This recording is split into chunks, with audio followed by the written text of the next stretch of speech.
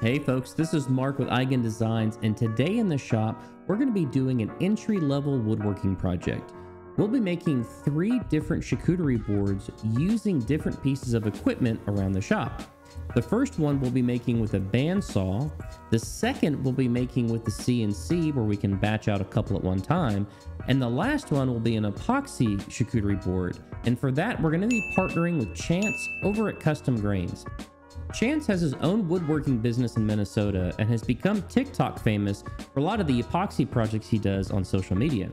So it's going to be a great video. Stick around and you can even see Chantz take his best shot to try to get my channel demonetized.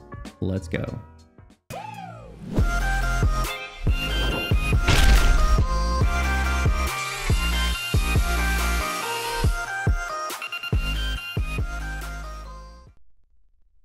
For the first board, we're going to be using a bandsaw, but you could just as easily use a jigsaw or a scroll saw to achieve the same thing. Now you might be wondering why we're doing the same project using different tools. And the reason for that is I often get questions from newer woodworkers who are just getting started. Hey, what's a good project that I can do? I don't have a jointer. I don't have a planer. I don't have a CNC. What are some of the things that I can do? So I thought this would be a really good introductory video to show how the same project can be made using different tools that you might have as you acquire new tools in your shop. For this particular build, I'm going to be doing a few panel glue ups where I just have some walnut pieces spliced with a little bit of mahogany just to make it a little bit more interesting. But if you don't want to do that, you can just use a single piece of wood and go from there.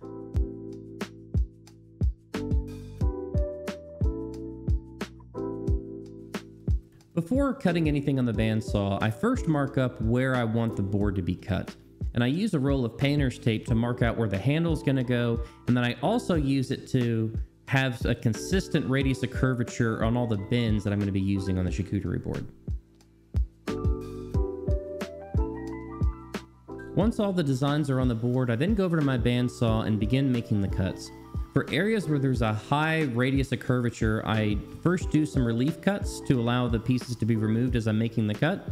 And I take this part very slowly, trying to preserve as much symmetry as I can while I'm using the bandsaw. Now, if you don't have a bandsaw, but you have a jigsaw or a scroll saw, you can achieve the same thing using those tools as well.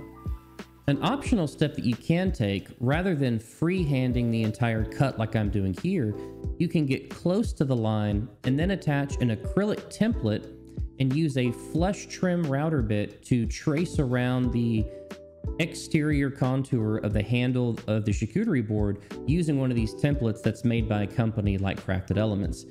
If you're someone that doesn't have a CNC but is looking to make these in high volume and have high degree of accuracy, that's a really good alternative to a CNC. Once all my work with the bandsaw is done, I head over to my router table to put a chamfered edge around the edges of the board. If you don't have a router table, you could just as easily use a palm router. Once that's done, I then use a paddle bit to drill a hole for the handle so that it can be hung up. I make sure to flip the board over before drilling all the way through to minimize any tear out on the other side of the board. I then take time to sand all sides of the board, starting at 120 grit and progressing my way up through to 220 grit. Chantz is going to cover the water popping process and why it's important to do for a project that's going to see water, so I'll have him cover that later in the video. Lastly, I finished the charcuterie board using a little bit of mineral oil and a sponge. This is a very quick finish that's food safe and can be readily reapplied if you ever see the color of your boards beginning to fade after extended use.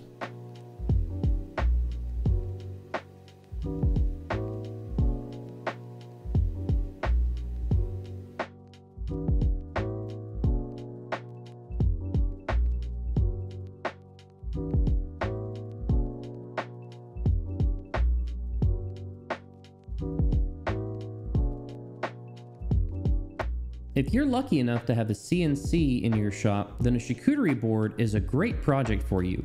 Not only can you batch them out in bulk consistently in relatively short period of time, but you can also get really creative with the designs that you choose. I made this one in Fusion 360 and I'll have the plans linked for you in the description below if you're interested.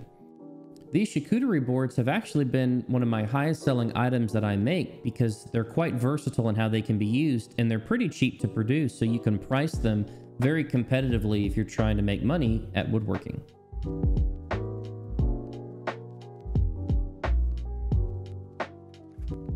Once everything is set up, it takes about five minutes to cut out each charcuterie board.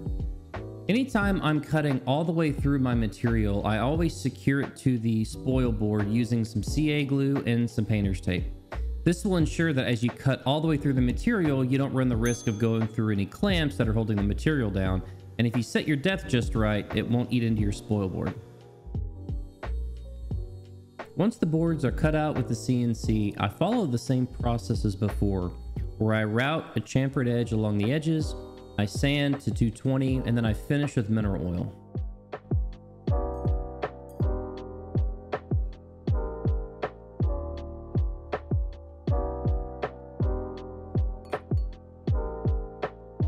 I'm really excited for Chantz to go through this epoxy board, and this one's interesting because you don't need a lot of woodworking equipment to do these, and there's still a ton of variability in the customization that you can do in the mold that you select and the colors that you do.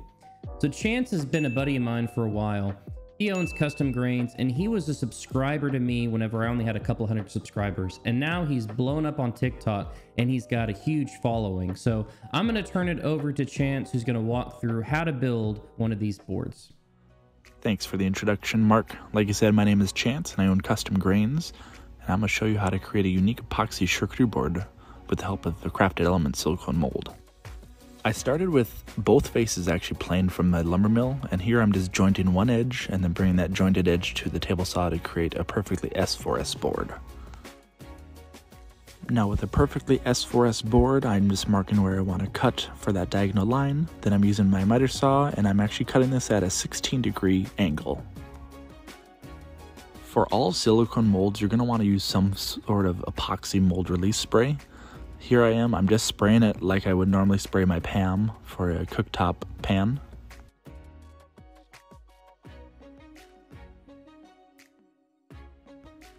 Now for epoxy, I actually prefer Liquid Glass Super Clear. I've tried darn near 10 different brands and this is by far the most quality and the most uh, affordable epoxy maker out on the market these days. And just like what your high school crush said, you better rubber up. And for the epoxy pigment, I'm actually using Tropical Blue made by Meyspring.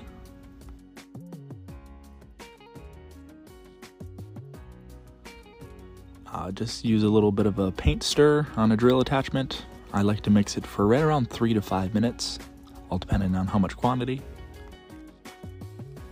And just how satisfying this epoxy pour is on the mold.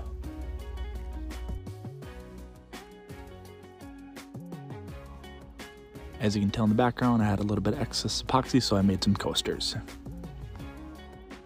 To pop the remaining bubbles, I just use a little bit of a torch, and then that pops all the bubbles.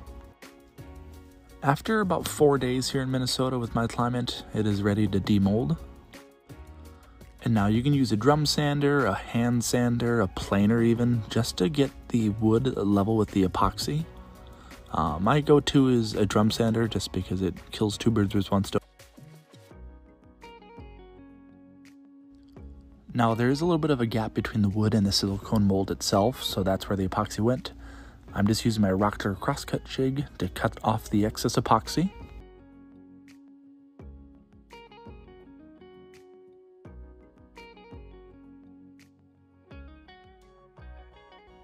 And then after all said and done, I like to hand sand it to 220 and then water pop it. And then I actually go up to 400 grit after I water pop it two times. And now I'm using an eighth inch roundover bit on my Milwaukee cordless palm router.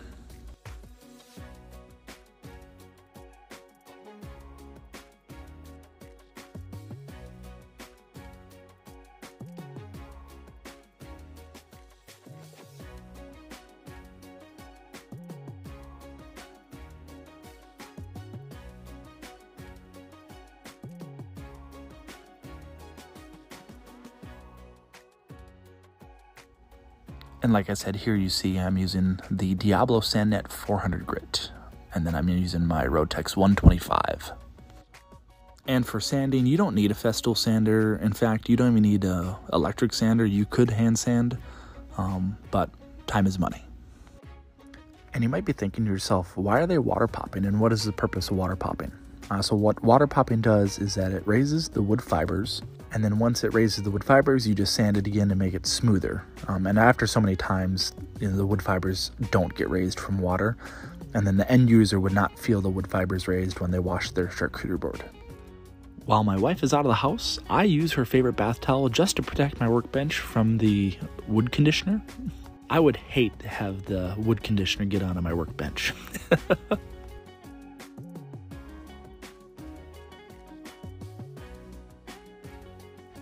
and here are the final photos. I thought it turned out amazing. Thanks for watching. And also thanks Mark for asking to do a collab with me. I feel honored. If you want to see more of Chantz, I'm going to have his socials linked in the description below. He's got an Instagram, at TikTok, he's got a website for all of his woodworking products, and he's actually affiliated with Crafted Elements. So if you want to get $10 off of any purchase at Crafted Elements, just use the code CG10 and that'll give you $10 off any mold or any template that you buy. All right, that's going to be it for this video. I hope you're able to take something back to your shop and this is giving you some ideas. Want to say thank you to Chantz from Custom Grains for this collaboration, and I will see you guys on the next one.